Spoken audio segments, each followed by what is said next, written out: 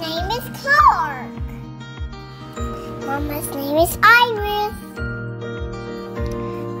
We are here in Miami.